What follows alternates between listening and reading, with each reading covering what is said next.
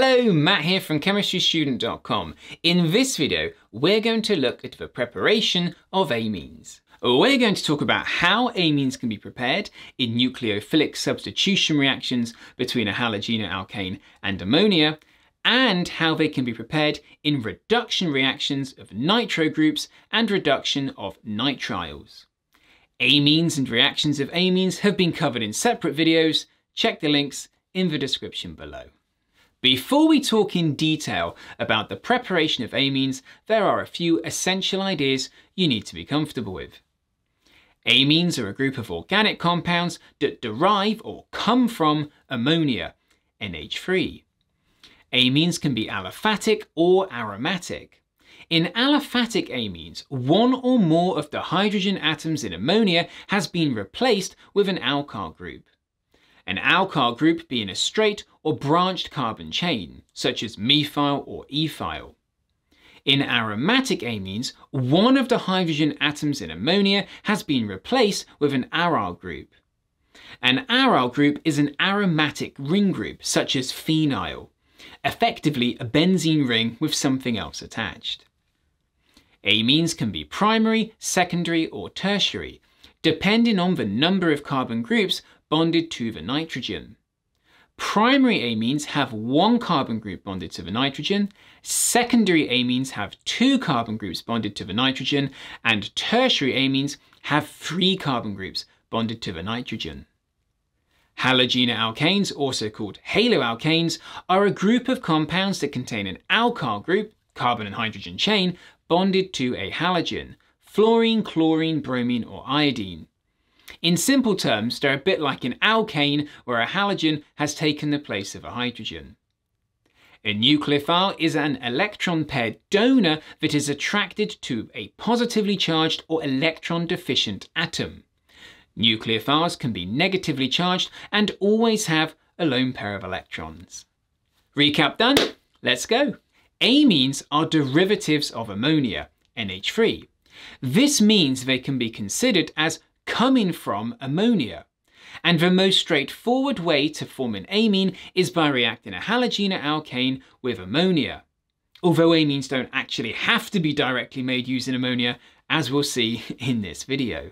Halogenoalkanes have a carbon atom with a partial positive charge, as a result of the halogen having a higher electronegativity than the carbon it's bonded to, making the carbon-halogen bond in the molecule polar. The nitrogen atom in an ammonia molecule has a lone pair of electrons and a partial negative charge, due to nitrogen having a higher electronegativity than hydrogen. This enables a molecule of ammonia to act as a nucleophile, and if mixed with a halogenoalkane, the nitrogen atom with that lone pair of electrons will attack the partially positive carbon atom in the halogenoalkane. As a result, a nucleophilic substitution reaction will take place, and the ammonia will end up being substituted for the halogen, which gets removed as a halide ion. During the reaction, an intermediate is formed, with the nitrogen atom ending up with a positive charge, as it has one too many bonds. Another ammonia molecule will act as a base and remove a H plus ion from the nitrogen, becoming a positively charged ammonium ion itself. This leaves the nitrogen group as NH2, with the nitrogen having the correct number of bonds, 3.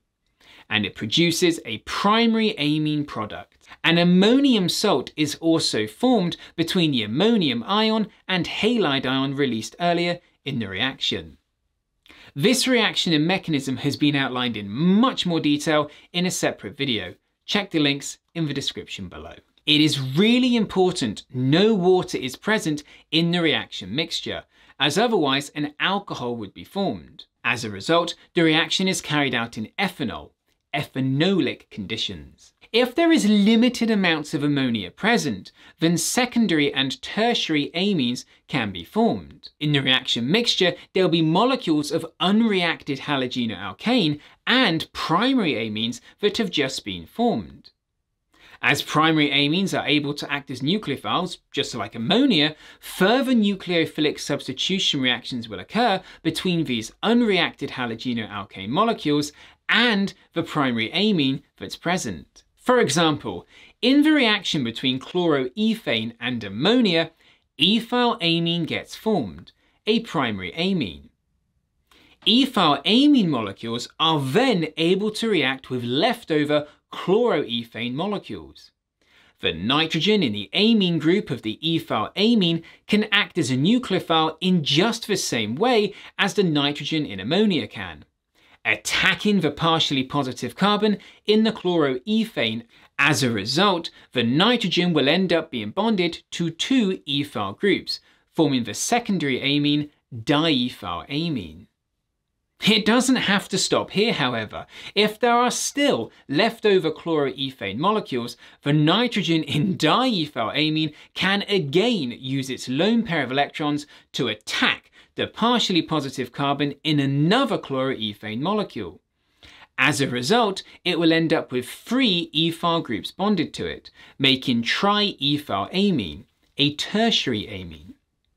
The triethylamine can actually then further react with another chloroethane molecule and form a tetraethyl ammonium ion with a positive charge. This would form a salt with the negatively charged chloride ions that have all been removed from chloroethane molecules earlier in the reaction. As mentioned at the start of this video, just because amines are ammonia derivatives doesn't actually mean they have to be made using ammonia. Another method for preparing primary amines is the reduction of nitriles. A nitrile group consists of a carbon atom that is triple bonded to a nitrogen atom. For example, ethanenitrile can be reduced to the primary amine ethylamine. Now, reduction in organic chemistry at this level can be considered as a carbon atom losing a bond to an element with a higher electronegativity than itself, like oxygen or nitrogen, and the gaining of a bond to hydrogen. When a nitrile is reduced, such as with ethanenitrile, a carbon atom loses two bonds to nitrogen, as the carbon-nitrogen bond in the CN group goes from being a triple bond to a single bond. At the same time, the carbon atom gains two bonds to hydrogen, meaning it is reduced. The nitrogen, able to form free bonds, now only has one bond to the carbon, and as a result forms two bonds to hydrogen atoms itself, becoming an NH2 group, forming a primary amine in this case ethylamine. To get this reduction reaction to happen, a reducing agent is needed, often lithium aluminium tetrahydride, LiAlH4, is used. This provides a negatively charged hydrogen ion called a hydride ion that kickstarts the reaction. The only problem is that lithium aluminium tetrahydride reacts violently with water, meaning the reaction must be carried out in dry ether. Hydrogen gas and a nickel catalyst can also be used for the reduction of a nitrile to a primary amine, and such reactions are examples of catalytic hydrogenation. Nitriles aren't the only group that can be reduced to form amines. Nitro groups from aromatic compounds can also be reduced to form aromatic amines. This is a useful process as aromatic amines are often required in the manufacturing of dyes.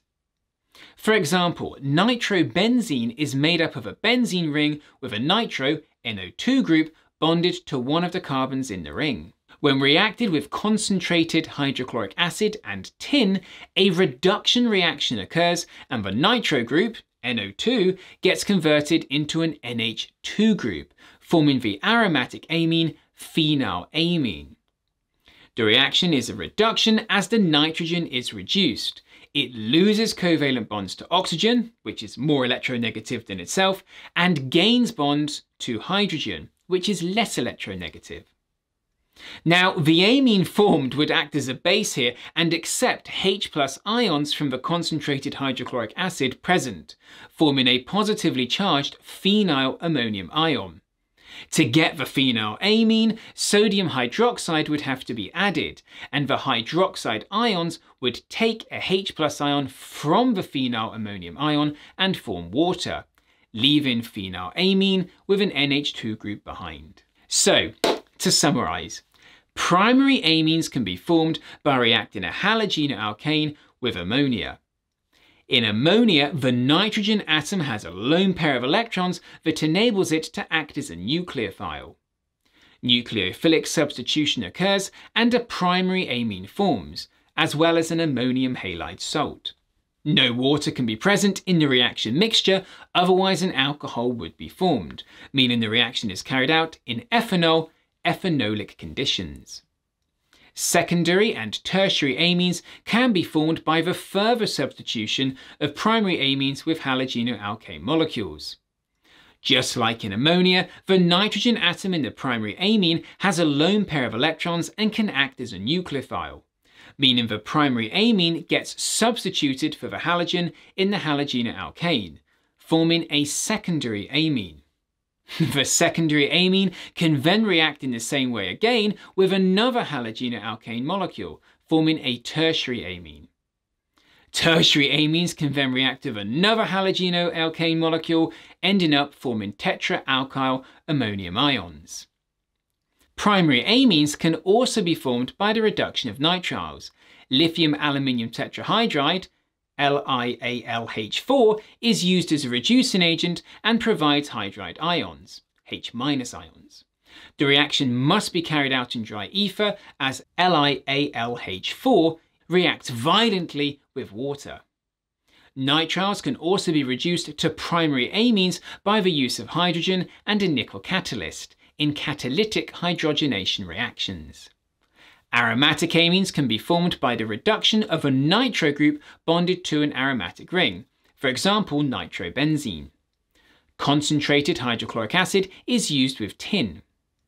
The amine group formed acts as a base and accepts a H plus ion from leftover acid, forming an aryl ammonium ion.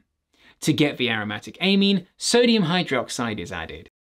I hope you found this video useful. Please check out other relevant videos in the links given in the description below and visit chemistrystudent.com for free notes and revision materials.